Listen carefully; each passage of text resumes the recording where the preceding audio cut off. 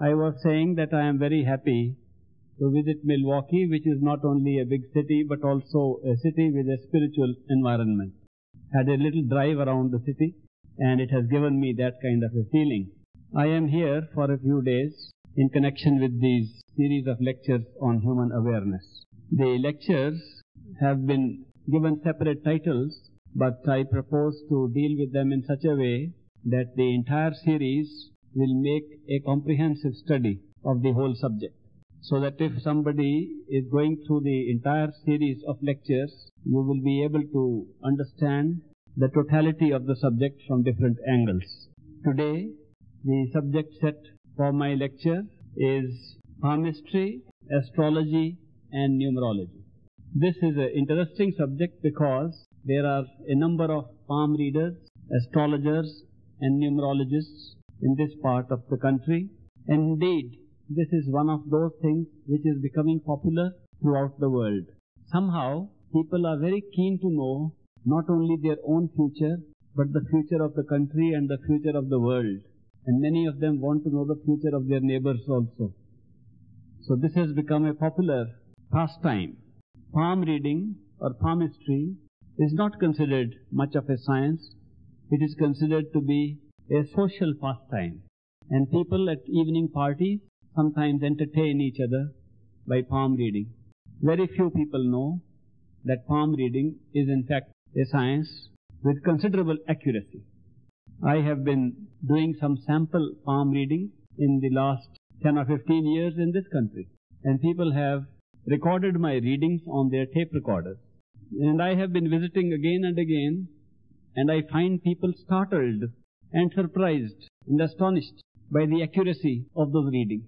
Even I get startled sometimes by the accuracy of the readings because one does not normally assume that these little lines on the palm of a hand can show so much about the nature of a person, about his past and about his future.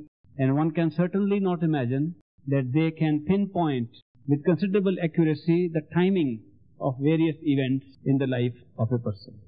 About 10 years ago, I conducted a class in palm reading for those who wanted to understand how the readings are done.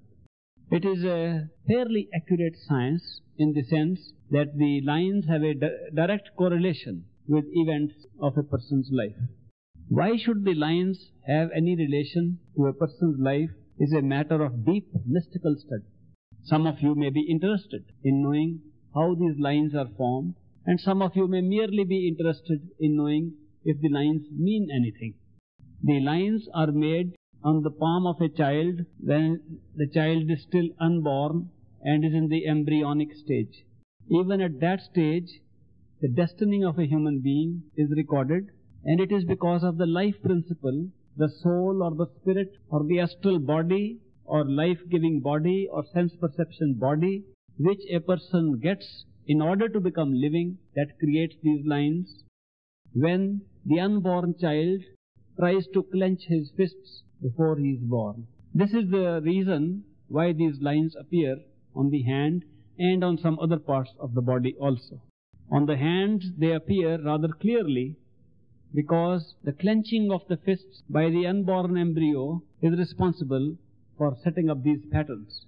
The clenching of the fist takes place according to the type of life that is being imbibed in the body at that time.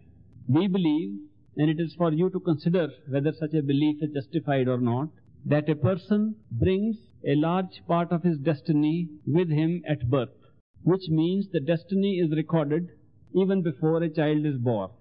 Then only a child can bring his destiny at birth. This recording of the destiny of a child before birth takes place when the child is still in the mother's womb and these embryonic lines on the hands are formed depending upon the type of mind and memories that child is carrying at that time.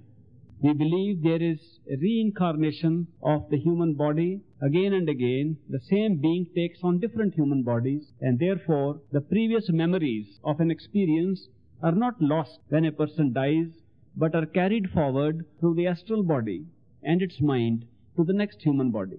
So when a child is to be born, he is carrying with him the memories of the previous life on his astral form, and that astral form gives the feelings and the impulses to the unborn child, which creates these lines on his hand. When a child is born, at birth only one can see the lines on his hand.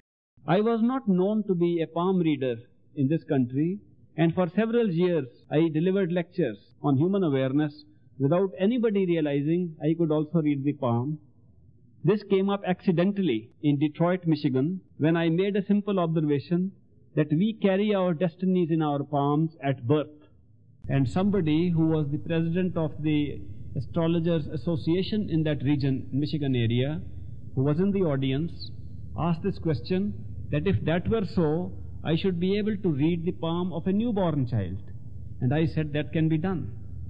He said very few people can do it because the belief is that the lines on the palm are made much later. Anyway, a very small child of a few months of age was brought to me the next day, and I gave a reading for that little child. And those who had brought the child were full of smiles, and I thought they were full of smiles because of the good reading I had given, but the reason was different. The reason was that my reading was identical with the chart they had prepared on the basis of the astrological planetary positions and aspects at the time of birth of that child. The likeness of the two was so impressive for them that they did not wait but circulated the message all over and I had to see a large number of people for palm readings the same day. And from that day I became a palm reader in this country and I have been doing this on a limited scale during my visits over here. I have been able to see that there are certain correlations between the lines on the palm, the manner in which the mounds are made on the palm, the way these lines cut across each other, the way they form triangles and rectangles and other shapes, and the events of life. This is a matter of experience. That if you see again and again the same formation on the palm and it tallies with the events of a person's life, then one can say these lines indicate that event in a person's life. So a record is being made continuously of these correlations as studied from actual palms. By now, I have seen several thousand palms, both in this country and in India and abroad elsewhere. And I have hardly found any case where the palms in their broad readings have not tallied with the actual events of life, which convinces me that this is like a science and its accuracy can be tested again and again. I will come back to palm reading in a little while after I have talked about astrology and numerology also. I will now take up numerology or the science of numbers. Just like the palms have lines and diagrams and patterns which can be correlated with the lives of people, similarly, the numbers represent the geometrical position of the planets and other heavenly bodies in space. And at the time of birth, these positions seem to have a correlation with the events of the person who is born. These correlations give rise to the theory that the numbers can be read in different combinations to show the characteristics, the character, and the events of the life of a person. The science of numerology relies heavily on the science of numbers itself, which in turn relies heavily on geometrical figures and proportions that occur in nature. Whenever we have space and time, we have numbers. Wherever we have measurements, we have numbers. Whatever scale we adopt and whatever numbers we adopt, whatever system of numbers we adopt, we can find a certain pattern in these numbers, and these numbers again have a correlation with the events of life. So the science of numerology is only an extension of the same system by which the time-space measurements in the cosmos can be read to see the correlation with events in a person's life. Astrology is again the mother science of palm reading and of numerology. Astrology, in fact, is the basis of all these sciences. astrology is a much misunderstood science. Very few people know what astrology means. And that is why they are doing astrological practices only on the basis of practice without knowing how astrology works. The word astrology comes from the logos of the astral world. It means the knowledge of the astral world. If one has knowledge of the astral world, then only one can know astrology. And this astrology has to be connected with that knowledge which exists at a level of consciousness above the physical world. The astral world does not mean the sky that we can see above in the heavens, it means the astral world which is above the physical world. And very few people have tried to study the astral world, but they jump straight on to astrology with the result that the astrological predictions they make, or the astrological charts they prepare, or the horoscopes they cast, are based entirely upon the positioning of the physical planets of the existing universe. These planetary positions are only used to project the events of a person's life, and these constitute only a small part of the potential and possibility of astrology. In these, again like palm reading or like numerology, the correlation between different positions that planets and other heavenly bodies take in space and time can be pinned down and their measurements reflect a certain correlation with the events of a person's life.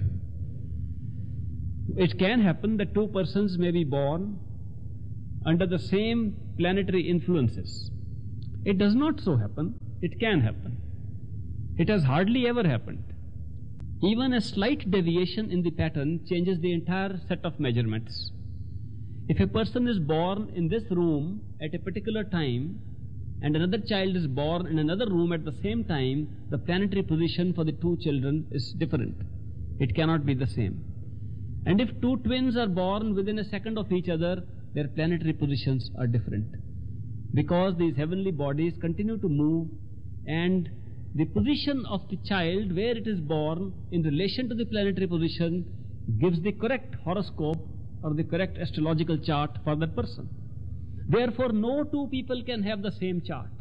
It is just not possible because no two people are born at the same place at the same time, not even twins. That is why the chart becomes unique for each individual human being. It is very difficult to draw an accurate chart of this kind because we draw charts on the basis of a general surmise that people in a particular area would be having the same location and we also try and give the timing in such a way which covers a large area. Whether we take the eastern time or the western time, Pacific time, it is a, it's a time that covers a large amount of area. The exact time would be indicated by the exact location of where the birth took place. Therefore, we have a lot of inaccuracies in casting the chart, in casting the horoscope and preparing the chart and then interpreting it. If you want to have a finer interpretation, then the chart must be correctly prepared and the horoscope properly cast. This is almost always impossible to do. But before I go into this question of the proper casting of a horoscope, I would like to bring you back to the basic point I was making that astrology is not the ology or the logos or the knowledge of only the planetary world, it is a knowledge of the astral world. What is the astral world? The astral world is the world of which this world is a copy. The world in which we live is a copy of the astral world. Now it is very difficult for me to explain how a copy of a world can be made except by giving you a little comparison with a dream world. When we go to sleep, and have a dream, then we go into the dream world.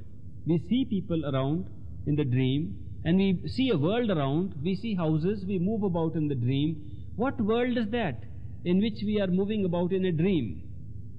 The dream world can be called a copy of this real world. In the same way, this real world which we are seeing now and experiencing is a copy of the astral world. Therefore, the astral world is the world in which the events take place, and we are seeing parts of those events in this world in our lifetime. The astral world holds the truth, it holds the reality, whereas this world, physical world, only contains certain excerpts, certain extracts from that real world. It is just a few chapters taken out of the real world at the astral level of consciousness. To be a good astrologer, you must practice astrology at the astral level, which means you must have access to see what is going on at the astral level so far as this world is concerned. If you can have access to the astral level, you will make no mistakes in casting your, uh, your horoscope or preparing your chart because you are doing it directly from the source. The source of all this knowledge is the astral world. People have talked about an astral body and an astral world and astral projection. Any experience which they count as out of body experience is considered to be an astral experience. It is not always an astral experience, it can be a sub-astral experience or a dream experience. But if it is a genuine astral experience, then surely one who has access of out-of-body experience in the astral level of consciousness is an astrologer in the real sense. The original astrologers recorded their horoscopes and their predictions on that basis. In India, 10,000 years ago, one astrologer came, his name was Mr. Bhrigu. Mr. Bhrigu recorded the horoscopes of all people who are to be born and went on filling up page after page, second after second, what will happen thousands of years later. And he kept on saying, These are the things that will happen. He even predicted who will be the people who will come and read these old manuscripts. And the time when they will come and read the manuscript, what will be the situation.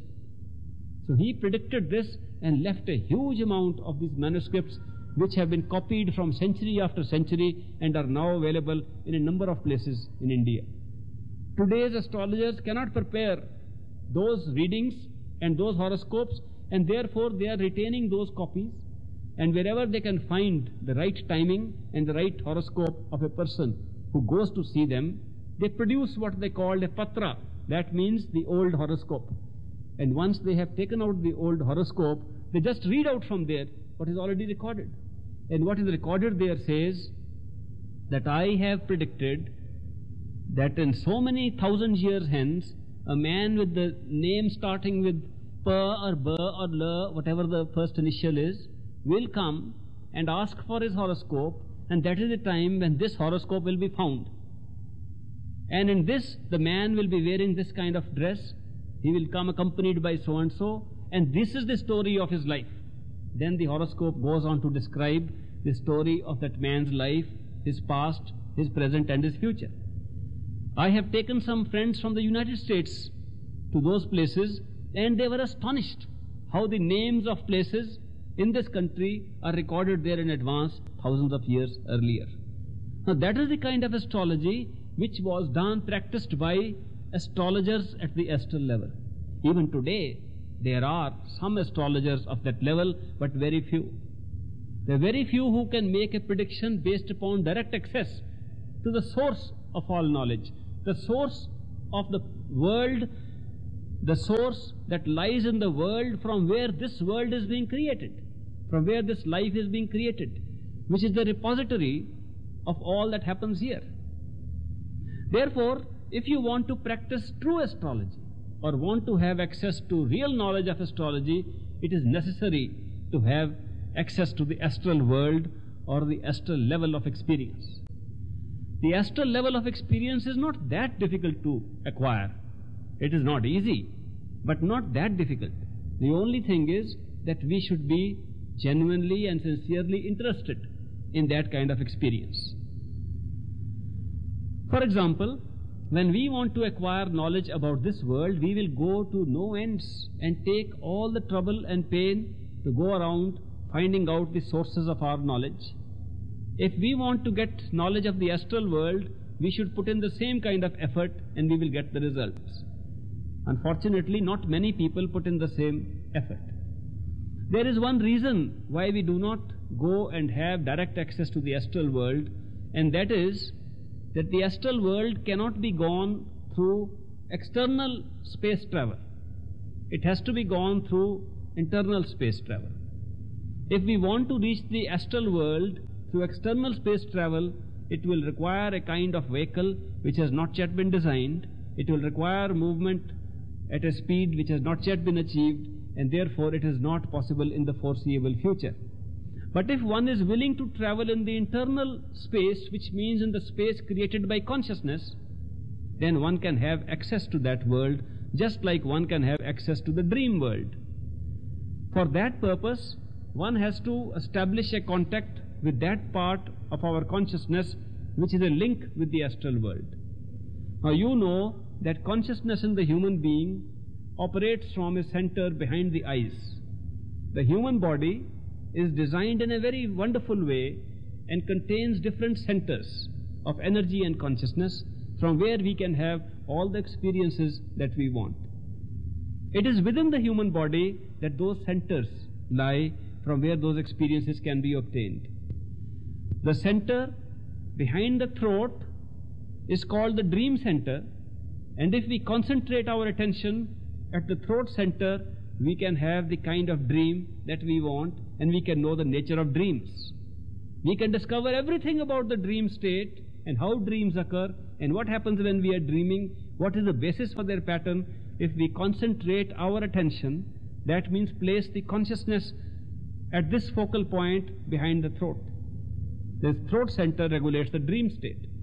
Similarly, the two eyes and the place between the two eyes regulate our awareness of the wakeful state of the physical level. And when we put our attention through the eyes and stay here, we get all the knowledge of this wakeful state. And we can have all the experience that is happening around us through this wakeful state of consciousness, through sense perceptions.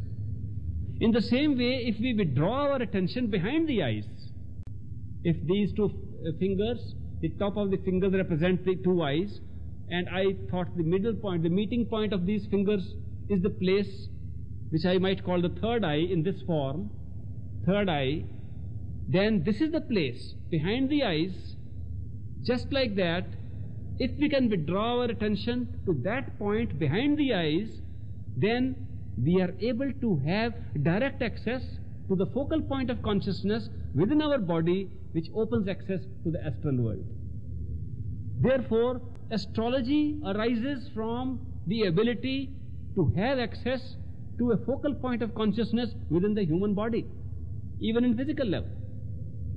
Even this physical body, while we are carrying it with us, has the potential and possibility of giving us knowledge and access to the astral world and astral experience behind the eyes.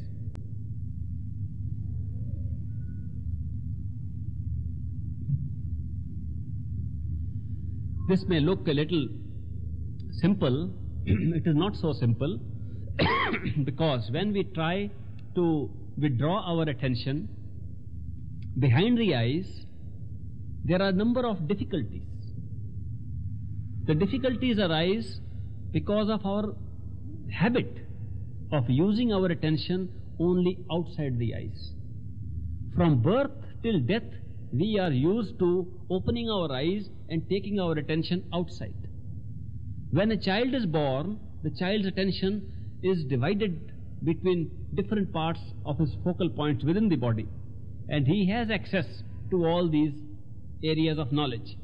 After birth, when the child opens the eyes, we draw the attention of the child outside, and therefore the children gradually lose this access to this knowledge, and they are acquainted only with the knowledge of sense perceptions outside the body. We then continuously focus our attention outside the body. All the time, day and night in our life, we are using our human attention, our conscious attention outside the body. We look around outside, we listen outside, we touch outside, we smell outside, we taste outside, and our whole life becomes life of sense perceptions outside the body. Even when we want to be inside, we close our eyes and look at the darkness outside the body. We never really pull back our attention inside, and that is why it is sheer lack of this practice. It is a sheer habit of looking outside that prevents us from going inside. If we practice going inside, it is as easy as going outside. But we have not done so. Therefore, the difficulty arises if in our grown up state somebody says, well, it is very simple. You withdraw your attention behind the eyes and look inward. We cannot do it because we have never done it. Therefore, it needs guidance, it needs a little practice. But with guidance and practice, anyone can do it. It is not something reserved for an exclusive group of people. Anybody can do it. All human beings have this facility, and all human beings have this potential. Even children have this potential a child of 10 years can do it with as much facility as an old man of 90 years can do it. It is a complete natural process of using attention. We are today using our attention to locate different experiences outside. In the same way, we can use our attention to locate this astral experience from the focal point inside. This does not mean that when we will focus our attention inside, we will start seeing the inside of the brain. It does not mean that we will start seeing the inside of the head. It only means that when we will withdraw our attention to the point behind the eyes, we will open up the possibility of seeing with perceptions which we are not using today. Let us imagine that sense perceptions are different from the body. That is, the eyes can see not because the eyes have the power to see, because the power of seeing or that sense perception of sight is put into the eyes. How do we see anyway today? Let me take just one sense perception for example, and then this will also apply to the other sense perceptions. If we say we are seeing something, I am seeing these flowers, you are seeing these flowers. How do you see these flowers? The theory is that light which is on at this time is falling on these flowers and going in near parallel lines to the eyes. And it enters the eyes and on the lens of the eye it gets refracted and forms an image on the retina. And the retina then through its rods and cones carries the color and shape of this flower through the optic nerve to the brain center in the head and the brain center being conscious gets the knowledge. These are the flowers lying here. This is how we see flowers. Now the point is that if the retina could make its own images without the flowers being here, we would still see the flowers exactly as they are. Because the rest of the process is the same.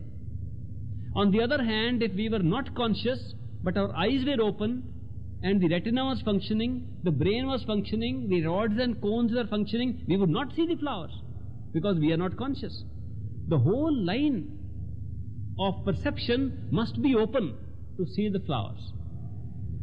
It has been assumed in error that because the flowers are here, therefore we can see them. It is an error, but very few people will accept it because of the habit of seeing it like this. The truth is, because we can see the flowers, therefore the flowers are there. If we could not see them, they would not be there even if they were really there. We are only seeing that world which comes within our sense perception. A question has been asked whether the causal direction is from the flowers to the head or from the head to the flowers. It is again proved by the dream experience that if I saw the same flowers in the dream, I would see them outside. But where would they be? They would be in the head. The mind would contain the picture of the flowers and I would see them outside. The seeing in the dream is the same as seeing here, but the flowers would not be real. Similarly, these flowers, whether they are real or not, can be seen from the astral level. The astral flowers are real, and these are not. These are like a dream. How do we find it? By withdrawing our attention to the same place from where the flowers are being seen, and we will find not only are the flowers being seen from there, they were seen in the astral form and are being projected out in this physical form, therefore the flowers are here. If we have real practice of withdrawing our attention behind the eyes to the focal point from where we can have this knowledge about the astral world, we will find that the astral world alone is real and this is all being projected from there. And that is why we can predict what will happen. If a human being was entirely free, how could you make a prediction what will happen five years later or ten years later? If everything was happening according to the time as we know it, from past, present and future, if things were really moving in time, how could there be any prediction at all, whether by astrology or by palm reading or by numerology? It would not be possible. That means a complete record of what is to happen is kept somewhere and has already happened. It is kept and has already happened at the astral level. And this physical level is a replay of what has already happened. It is a dream sequence of what has already happened. And that is why we can make a prediction. And that is how these correlations are established between astrology and what has already happened. Take the example of a movie picture we want to go and see. When we sit in the hall, we buy a ticket and sit in the hall and watch the screen, the movie starts and those people in the movie, the actors and actresses and characters, they come on the screen and we watch the story with great interest. We get emotionally involved. We say, what will happen next? When we say, what will happen next? We are just saying so for the sake of the story. Otherwise, what will happen next has happened in the film already loaded in the projector. And what, is, what will happen next has happened and is already in the film, and that alone will happen on the screen, nothing else. We cannot change the film at that time. The film has been already recorded, put on the projector, and is being seen on the screen at that time. This is a multi-dimensional screen around us today. And the projector is at the third eye focus behind the eyes in our head. Consciousness is projecting this image outside and we are seeing this whole world. The film is already loaded, therefore we know what the film is. If we have access to the projector within, we can say in advance what the film will be like. It is a replay. But if we do not have access, this looks like a new happening and looks like it is happening for the first time. It does not appear that it could have happened earlier and it does not appear logical that one can predict what is going to happen. That is why there is a misunderstanding about astrology and these systems of telling the future because we do not understand how these things which are going to happen have indeed already happened. A very interesting case took place in England. It is reported recently that one Mrs. Jones lived in the neighborhood of Mrs. Brown and Mrs. Brown took up the morning newspaper and she saw in the obituary column that Mrs. Jones had passed away, passed on, died the previous night. The obituary notice was very short. It said Mrs. Jones has died. And Jones had a typing mistake, a printer's error in the sense that the E in Jones, E was wrongly placed upside down. She noticed that and she was very sorry because she was a friend. Mrs. Brown was a friend of that lady, Mrs. Jones. Shortly after that, Mrs. Smith turned up at the house of Mrs. Brown, and Mrs. Brown said, Have you seen Mrs. Smith today's newspaper? What a sad news. Mrs. Jones died last night. And Mrs. Smith said, Don't be silly. I have just come from her house and had a cup of coffee with her. Don't make such jokes. It is not nice. Mrs. Brown said, But I have just seen in the newspaper somebody has played a very nasty trick and given such an advertisement in the paper which is not fair. She said, Where is it? So Mrs. Brown took up the same newspaper in which she had seen this notice about Mrs. Jones passing on and she opened that page but she could not find where she had read it. They scanned the whole newspaper inch by inch they could not find where that notice was. Ultimately Mrs. Smith said, I think Mrs. Brown you need some rest these days and you better have some coffee or some sedative and rest. I think you're working too hard these days. She said, What do you mean? Am I insane? Am I mad? I saw it with my own eyes. I just saw it 15 minutes back. But they could not find that printed notice in the newspaper which Mrs. Brown claimed she had seen with her own eyes. And Mrs. Jones was alive and kicking at that time in the neighborhood. But as it happened, that very night Mrs. Jones died after this incident. And when she died, the next morning the newspaper carried the news of her death. And it was at exactly the same place in the new newspaper of next day where Mrs. Brown saw it the previous day. And the E was inverted in the same way as it came in the printer's mistake, printer's devil next day. What does it mean? People have been investigating that case because none of them believed in religion or uh, things being written in advance or astrology or anything. Yet it happened. It means that Mrs. Jones' death was known somewhere, that there will be a press notice in the newspaper, was recorded somewhere, that the printer will make a mistake was also recorded somewhere, and Mrs. Brown by accident had access to that knowledge a day earlier. This means everything is recorded somewhere. Where is it recorded? Where did she see this?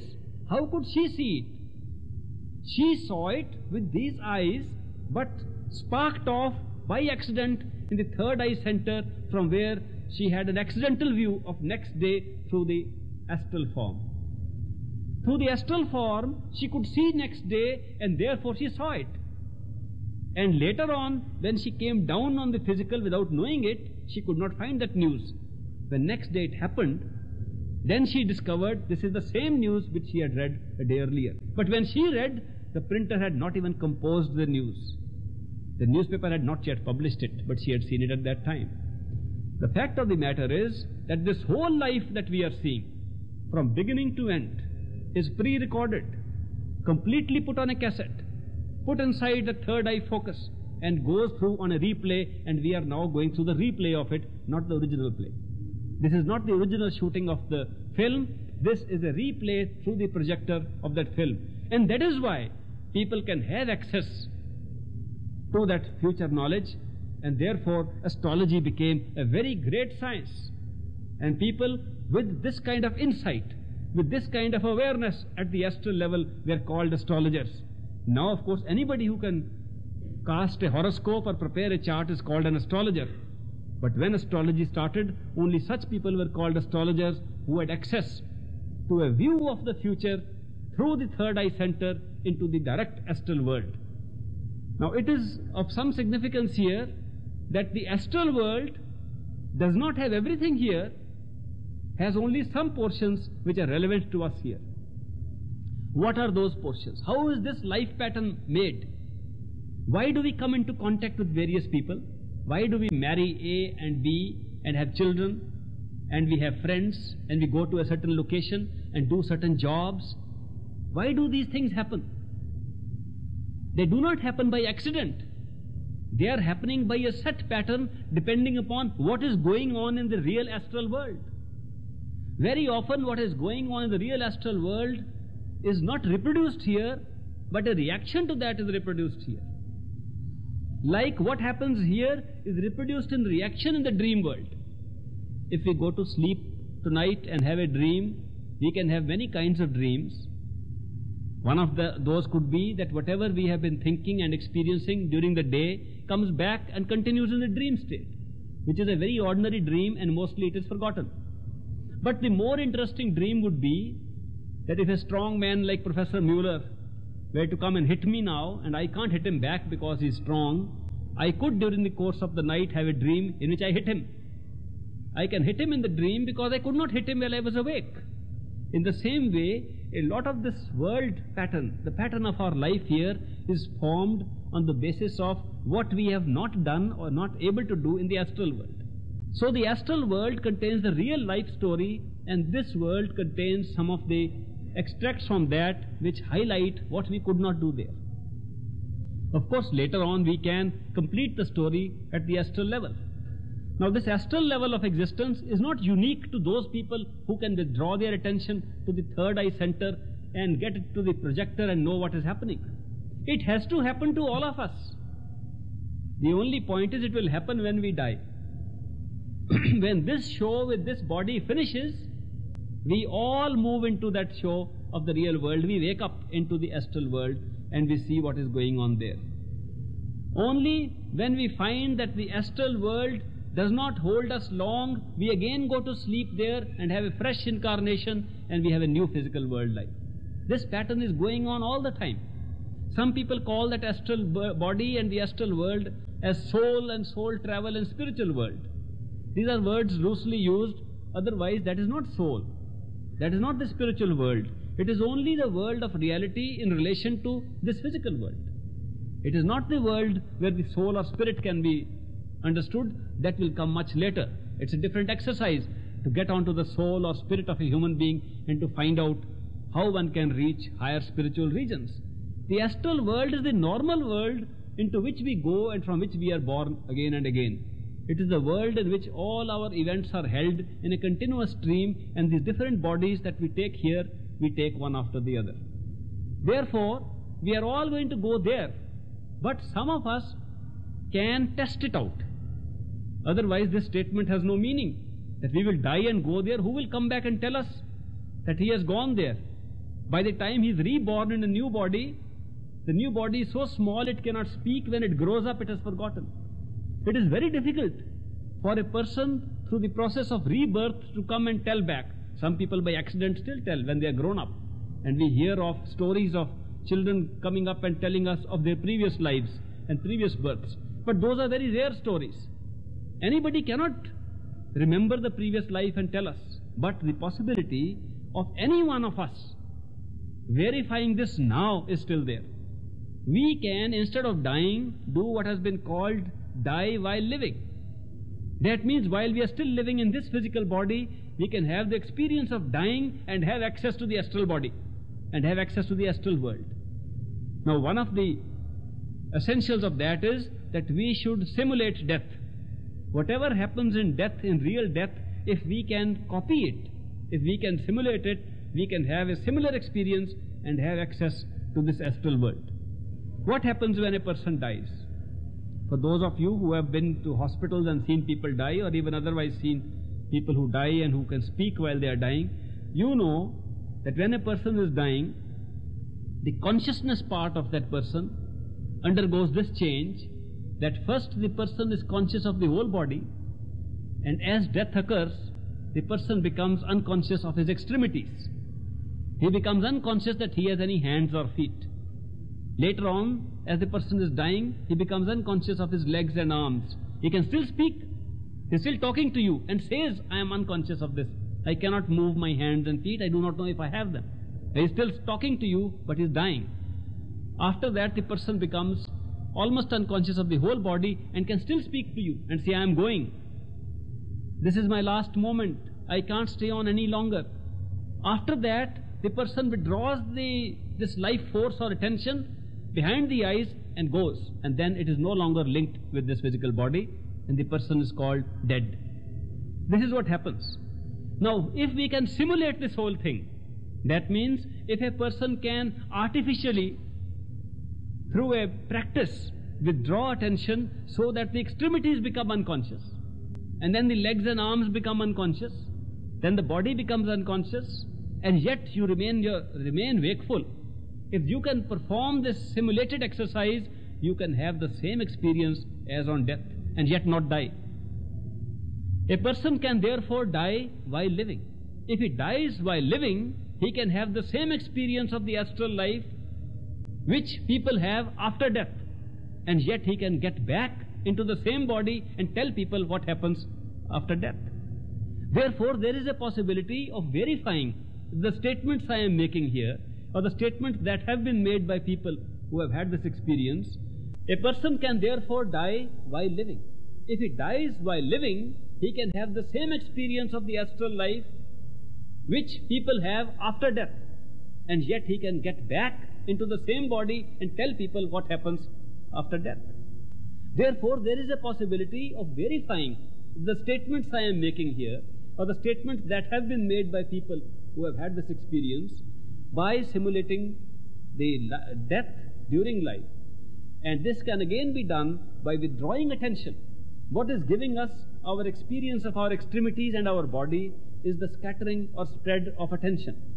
When this attention is withdrawn from the hands and feet and withdrawn towards the central part of the body and towards the head, when the attention is withdrawn by any form of exercise, meditation, sadhana, or any effort, any system, there are many systems. I could talk to you at length for the systems which can be adopted for withdrawing of the attention from the different parts of the body onto the head. When that is done, gradually the same experience comes, and when the attention is withdrawn from the throat above, one feels one is dead, and one segregates the power to see, the power to hear, the power to touch, taste, and smell from the body, and one can see one's own physical body. Yet the body is alive. It is still breathing, it is still having all this circulation, it has still got the heartbeats on, it's got the brain functioning, but the power of sense perception gets segregated and you can see your own body by this exercise. A lot of people have done it. This is simpler to do. If you then withdraw your attention further, you get segregated and you are then watching this body with your astral form and you are in the astral world. It is the same world from where you can get the knowledge of how this copy of this life has been made, how the projector has been loaded with that film. I have just given a little hint how astrologers originally functioned, how astrology came into being, how the science of telling the future had a very definite basis. And it is that basis which is still prevalent.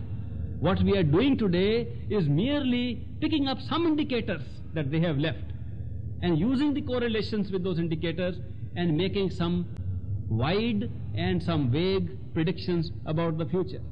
So true astrology must be understood by true astrologers of the astral level and the others only copy them. Now I have said that astrology is the mother of foretelling.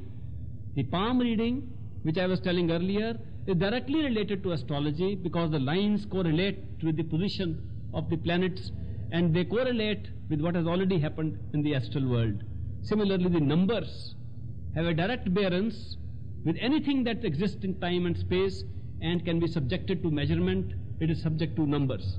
So, numerology, palm reading, and astrology all have their basis in the same knowledge. That knowledge has been lost except in very few people, and very few people have access to that knowledge. But the art remains, and people are using the art of astrology, numerology, and palm reading to make predictions for the future. Now, when predictions are made from any one of these sciences, if you confine yourself to the predictions as have been shown by those who had access to the astral world, they come out true. If you make any guesswork beyond that, they do not come out true. So these are sciences which are spiritual sciences, and if one really wants to practice them, one has to practice the art of going into higher levels of consciousness. Thank you very much. If you have any questions to ask on the presentation, I shall be very glad to answer. There is a chance of altering it by re-shooting and re-filming it at the astral level. Then it comes back into the altered form. This is done by those who have access to that. They can reshoot that scene and change it. So the intervention, we call it the intervention, intervention in the affairs of this life are possible with the help of those who have their level of consciousness at the astral level. Yes. Well, it's a very good question. Whether in the light of my statement that everything is pre-recorded, whether we have any free will or not. If we have full knowledge of what is going to happen, we have no free will. But if we have no knowledge, then we have free will. In fact, the free will is an illusion. It is not real. But it looks real. It looks so real that even when we want to accept free will or not to accept it, we do it out of free will. If somebody comes to me and says, I have found out I have no free will, and I ask him, Are you saying this out of free will or no? So then we find out it is not easy to give up the illusion, the mistake that we have no free will. We may make a mistake that we have a free will, and we constantly make it. The point is that when you feel you can make a choice, when you are given options in life and different courses appear before you, and you cannot decide, should I do this or should I do that? Then who can deny that you have a free will? Free will means having an option to go A or B, option to uh, go west or east. If this option really comes, then you feel you have the free will. You have to decide. In fact, you cannot get out of free will. If somebody comes to me and says, I have found out the truth, there is no free will, I immediately order some tea or coffee, put one cup of each, and I say, Will you have tea, coffee, or neither? And whatever that person says out of free will. And if that person does not want to answer, that is also out of free will. I can catch a person in the free will if one denies there is any free will. How come, if there is really no free will, the illusion of free will is so strong? The reason is that the free will operates in a very interesting way that what makes us choose between two courses?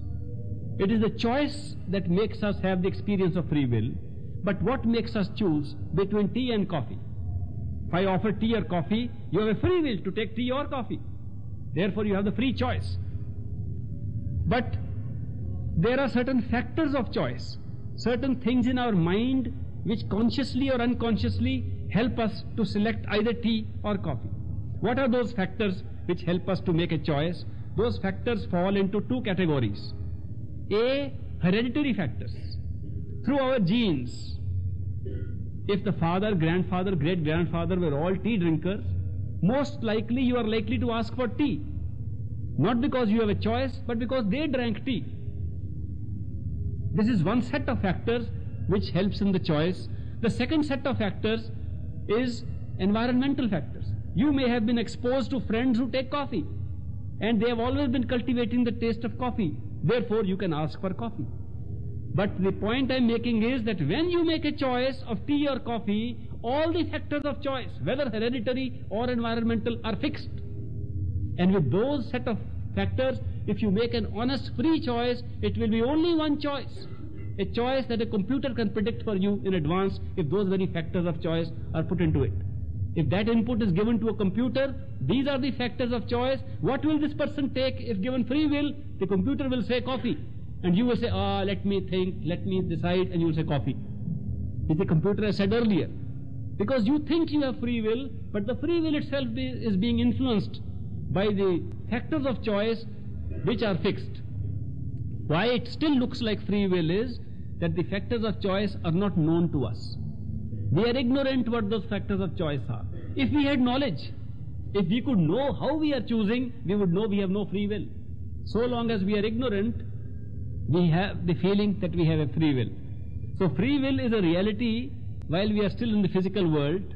It becomes an illusion at the astral level. Yes. Yes, certainly. The movie is in fact the result of the laws of karma. The movie is a continuous movie. We just take a little strip out of it which is based upon action and reaction or karma. Yes, you could. I answered that. You could make a change. At the point where you can interfere with action and reaction. The difficulty arises in understanding the law of karma or the law of action and reaction. How do you know a particular thing that is happening now is action or reaction? In this life, a certain thing happens. You run into a, a particular person and you want to marry. You feel like marrying. You don't know whether to marry or not to marry. Now you say, should I, should I not? What is in the movie? Is it an action, new action, as a result of which I will come again to pay back the karma, or is it paying back already for past karma? Well, we distinguish between these two, and the Sanskrit words we use are that if it is a reaction or the reward or punishment of a previous action, then we call it pralabdha.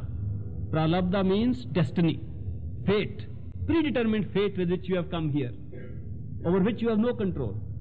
But if you are creating a new karma, then we call it kriyaman. That means fresh action, the new determination. But most of the time we are confused whether things that are happening around us are the destiny of a previous action or are new actions which will create a destiny in the future. The distinction is not difficult to make. There is a difference, qualitative difference in the two. Since both are based on the illusion of free will, the previous destiny comes up without giving us a chance to have two options. When you find you have no cho- choice and you are thrown into a situation and you have to do a thing without any choice, the choice comes after the thing has been done, that is previous action. It's the reaction to a previous action. But when a choice comes before us and we are given the option to use free will or the illusion of free will, this or that, this or that, and the mind determines this, applies its mind to it. Okay, what is to be done? Then it is a new action. So that is the distinction between the two. If a person avoids new action but continues to pay off the previous karma, the movie sooner or later will end. There will be no more movie. Yes. You should never give up. If you want to go through this process of evolution or progress, eventually the whole concept is that the astral form contains the mind and soul of the being and is progressing. It is evolving into something better and better. To evolve, you should never give up. Because this, what is coming as destiny, has to be played through. Karma has to be gone through. Therefore, never give up, but overcome it. One gentleman who used to lecture in this country, an Indian, Dr. Thind, he used to lecture in California. And he went to India also, then he's passed on now. He used to say beautifully, he says, why are we evading our problems? Problems and difficulties will always come. We should not run away from them. So he prescribed a three-point method. He said, when a problem comes, first greet it, then meet it, then beat it. Don't run away. Greet it. Say, come on, good morning, problem. I want to meet you. Then you meet the problem, understand it, and beat it. That's the way to handle. If you run away from a problem, the problem runs after you. But if you face it squarely and meet it and tackle it to the best of your ability, you are on top of the problem. Yes, that's a good question. Name. The name of a person has significance like the numbers in numerology. And the name also has the same connection. Sometimes change of name can affect the destiny and character of a person. And there it is used. But the basis of this is quite different. The basis of the name being relevant to a person's destiny is that the name has been used in the sense of the higher word, higher name or higher word at the astral region. The name, in fact, represents a state of consciousness above the physical. Originally, when the propounders of this theory came up with the name, that you must be given a new name. And this was done by the old mystics in India at the time of initiation. When they initiated a person into the spiritual process and said, now you can make progress and grow, they used to give a new name. And that name changed their entire destiny. But the name they gave was not merely the change of their name by which the person is called here, it was a name in the form of a mantra, which altered their status and their consciousness because that linked them with the higher level of consciousness. Now I'll tell you how this happens. When we use words, names are also words, when we use words, they have the same meaning which occurs to us because of our previous experience of those words. Words are phonetic symbols having connotation based upon the previous association of ideas with those phonetic symbols. If I say this is a chair, then why I call it a chair is because I have heard the sound chair in relation to things which I have seen on which one can sit, which are some legs and so on. That experience of mine, of all the chairs I have seen so far, accumulates and gives a certain meaning to the word chair when I speak it. Now, when I say chair, I believe everybody has understood the same chair. It is not true. Everybody has understood the chair which he or she has seen. So, everybody has his own connotation of the word chair. Now, when I use the word chair, I am using my chair, you are using your chairs. If the chairs happen to be the same, we can communicate with each other. But when a master, a mystic, a person who has got a higher level of consciousness or who has access to higher level of consciousness, he uses a word in relation to his experience at that level, then the meaning of that word is higher because he is associating it with that level. The name used to be given in relation to that higher level and it altered the destiny of the person. A mantra was also given. After all, to control the mind and to withdraw attention, some words were used for repetition. You repeat the words, go on repeating the words, it will be easy to withdraw your attention because the mind which is thinking in words will not be able to think and will go on repeating other words instead of its thoughts. So words were used. Any words could be used. But instead of using any words, these people used to give words which had connotation in the mystic's experience with a higher level of consciousness. The result was when the practitioner began to use those words which are called mantras, they became magical words because their meaning was associated with the astral experience. And that is why they said the name is of great importance. The name started from there, later on it was associated with the external name given to the body. The external name given to the body is not the name of the person. In our philosophy, which believes in reincarnation, we believe that a person is born again and again, but the name is given only to the body, not to that person. The person who is reborn gets a new name because of the new body. And we identify ourselves so much with the body that we don't believe in reincarnation. If we did, we would not say, this is my name, I would say, this is Ishwar Puri is not my name, it's the name of my body. And if my father was standing here, I would not say that's my father, I would say that's my body's father. It's a correct statement. Because I had fathers in different forms. And it is only this body which had that parental relationship. If I had my son standing, I would say this is my body's son. But we don't say so because we have lost our real identity and we identify ourselves completely with the body.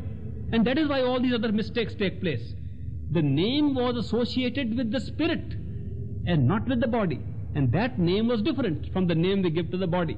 But currently I find people are using the same philosophy in a modified, diluted form and less effective form by changing the name of the body. That is not so useful as giving the name which has a connotation at the astral level and therefore changes your destiny. That name which changes your destiny can only be given by an expert who has had access, personal access to the astral level of consciousness. Yes? No, we don't. That is chosen by our previous actions. If by choice you mean previous actions, yes, we had a choice in our previous actions. But now we have lost the choice, but because of previous actions, we got those parents. So when a child is born, child has no choice of choosing the parents. Yes? Yes, it is theoretically possible that if we don't keep on making the progress we are making, we can re- regress to lower forms. But normally it should not happen because normally we are in the process of evolution and we should go on to higher forms. But some people don't like progress, they can regress to a lower form. Lower than human forms. Lower than human forms. Yes, they do. Yes, the new karma is affected by that. Now I would like to clarify because of this question that karma has nothing to do with the body. Karma is created, generated only in the mind. The mind alone creates karma, the mind alone repays karma, the mind alone has the prarabdha, the destiny karma, the mind alone has the new karma karma. Karma is a mental activity, not physical. But the mind's decisions, the mind's karma creates the body conditions. So anything that influences the mind influences karma. Thank you very much.